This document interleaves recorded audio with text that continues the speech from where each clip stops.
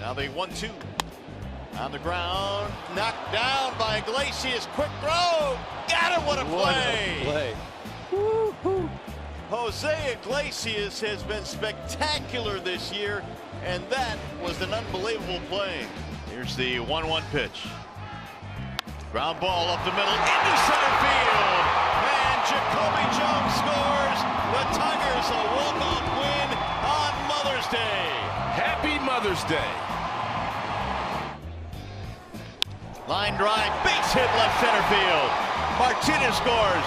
Goodrum scores. Iglesias comes through with a two-run signal, and the Tigers have the lead.